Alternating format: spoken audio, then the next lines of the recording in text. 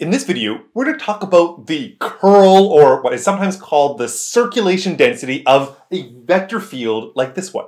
We're actually going to introduce a two-dimensional picture of this in this particular video, and then later on in my vector calculus playlist, the links to that are down in the description, we're going to upgrade to the three-dimensional version as we see the more sophisticated theorems of vector calculus. So what is this idea? I want you to imagine that this vector field is a velocity field. For example, it could be the surface of some water, and each of these arrows represents the velocity of the water at that particular point. So what I want to imagine is, if I put a little propeller down in the water, what is the tendency for that propeller to spin around? So for example, I put up an imaginary propeller here, and this propeller is rotating clockwise, and the reason is because if you look at the underlying field, if you imagine having an actual propeller and actual water, the way the arrows are pushing causes this propeller to spin. If I then move somewhere else, for example, this one now spins in the opposite direction because the underlying velocity field is spinning in a different way. And then I'll, I'll put one more spinner at this sort of somewhat less interesting spot. It doesn't appear perhaps visually that it's some center of a swirl, but if you notice at this location, the arrows on one side are longer, which means faster velocity, than the arrows on the other side. And so that would also cause the propeller to spin a little bit over here. To make that point even in a bit more of an exaggerated way, imagine this velocity field. There doesn't appear to be any sort of global spinning at all. But nevertheless, if you put our spinner anywhere around here, it would actually spin. And the reason is because as you go down, the velocity vectors are larger. So if you put your spinner, it would be more affected by the pushes at the bottom than the pushes at the top, and thus would have some slow counterclockwise spin. So at any point in any vector field, you could put one of these little spinners and you could ask, well, to what degree is it spinning? Is it spinning clockwise? Is it spinning counterclockwise? And how fast is it spinning in those possible directions? So this picture is in contrast to what we've seen previously with the notion of circulation around some curve. So if I put up some larger curve, I could ask the question, well, what is the tendency of the vector field to be aligned with this particular curve? And we've seen that a line integral, the integral along the curve of f dot dr, represents the circulation for some closed curve. Along a curve like this, this is a global property. It's saying, well, along this big, long, large curve, you have this total net circulation. The new concept that I want to introduce is this sort of more pointwise, this more local not concept, the, the concept of the curl at a specific point. So we know how to capture the larger story about circulation, we've seen that before, but how do I come up with this new concept, this concept of how much something would spin at a particular point? Well, let me imagine I'm going to just zoom, zoom, zoom in very far. So I'm going to consider the following curve. It's a rectangle. And it's a rectangle that starts at some point xy, but then it makes only a tiny shift. So it then goes to the point x plus delta x, comma y, where I think of delta x as small. So imagine I'm zooming really, really in locally and taking this small local rectangular path. I would then move up, so I would have this same x location, x plus delta x, but now the y is y plus delta y. I would then come back to the point x, y plus delta y, and then back down to xy. So I have this little tiny rectangular path, and I can imagine my delta x and my delta y being sent in some limit to being zero. So really what I'm asking is, well, what is the circulation around this tiny, tiny path? And using that as a stand-in for this notion of the sort of uh, tendency to rotate at a particular point. I could give each of these four sides a name, maybe I'll call them C1, C2, C3, and C4. And then what I'm interested in is the circulation around this particular path. So the circulation around the curve that is this tiny rectangle. And indeed, because the curve is just four different components, C1, C2, C3, and C4, I can just write it as the sum of those four different line integrals along the curve CI for i between 1 and 4. Okay, so that's my setup, but I, I want to do better than this. I want to actually compute it out in this infinitesimal case. So to establish some notation, I'm going to say that my field f is m in the i hat direction and n in the j hat direction.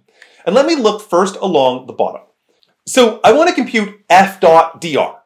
The field is the f, but along the C1, along the bottom, well, what is my dr, my change in position? Well, my change in position is I've gone from x to x plus delta x. It's a shift of delta x, and it's in the i hat direction. So my dr is just delta x i hat.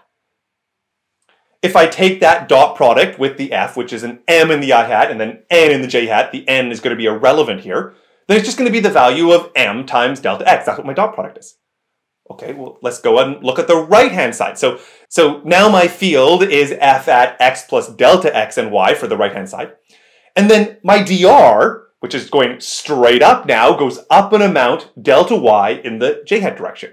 Compute out that dot product and you get the value of n multiplied by delta y. And then we can keep on going along the top. Our dr is just now negative delta x in the i hat direction. And then when I do the dot product gives me negative m delta x. And then along the left-hand side, my dr is negative delta y in the j hat direction, which is going to give me a negative n delta y when I compute the dot product. So let's just be clear what we were doing, because that was a bunch of computation. I was computing the line integral around the entire curve, which I broke up into the line integral around each of the four sides. And each of the four sides for this very specific setup, this very specific rectangle, I could compute out and get these nice combinations of m's and n's and delta x's and delta y's. All right, so uh, let me put all of this a little bit together, and I'm going to look at the top and the bottom, and I'm going to look at the right and the left-hand side. I'm actually going to even do a little bit more of a shift on the top. I see that it's written as m of xy minus m of x and y plus delta y. I'm just going to reorder that. I'm going to put a negative out the front, so just, just rearrange slightly different. And the reason I'm rearranging it this way is I want to recognize some partial derivatives slipping in there. So for example, uh, this is just a definition of the partial derivative of m with respect to y. The, definition is it's the limit as the delta y is going to zero, and then it's this, this difference quotient where at the top you're taking the, the m of x and y plus delta y, and subtracting off the m of x and just y, and then dividing that out by delta y. This was our definition of the partial derivative of m with respect to y. So if I look at the top line here, I've got a negative at the front, I'll deal with that. I've got a delta x on the far right side, so we'll ignore both of those.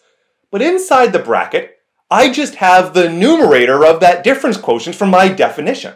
And so I can replace the top line with negative the partial derivative of m with respect to y times delta y, because that's what I was missing. I was missing the portion on the bottom. And then the delta x comes along for the right as well. Likewise for the bottom, it's a similar difference going from an x plus delta x back to an x. And so this one is going to be the partial derivative of n with respect to x, delta x, and then the delta y on the far right side comes along for the ride. Of course, these are only true in the limit as delta x and delta y are going to zero. But that's okay because I'm trying to get some measure of what's happening sort of at a point. And so I imagine the small rectangle, and I want that rectangle to get smaller and smaller and smaller. So it's okay that we're thinking of delta x and delta y is going to zero in a limit.